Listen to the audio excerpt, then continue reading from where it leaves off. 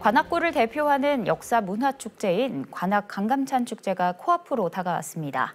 3일 동안 어떤 프로그램을 만날 수 있는지 김민욱 기자가 정리했습니다.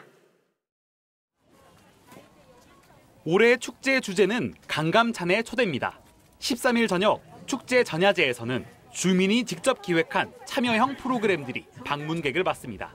기존 강감찬 축제의 전승 행렬 퍼레이드는 관악구 21개 동 특성을 담은 역사 문화 체험관으로 변주돼 별빛 내린 전을 밝힙니다. 집으로 누군가를 초대하는 거지 않습니까? 바로 그 주인들이 21개 동입니다. 많은 분들이 21개 동의 특징들을 또 손님 맞이용 좋은 즐길거리 콘텐츠를 제공받는 뭐 그런 집들이가 될 거라고 생각하고 있습니다. 강감찬 도시로서의 정체성을 알리는 행사도 마련됩니다.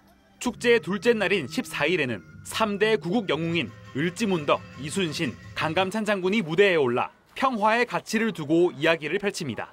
15일 강감찬 토크쇼에서는 서경덕 교수와 길승수 작가가 출격해 고려와 강감찬을 주제로 강연에 나섭니다.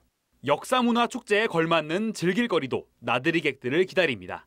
고려시대 무역의 중심지를 재현한 병란도 21에서는 공예품 전시와 민속놀이 체험이 축제 기간 내내 이루어지고 과거 시험을 모티브로 한 감찬인의 집들이 퀴즈쇼를 통해 다양한 경품 이벤트가 진행됩니다.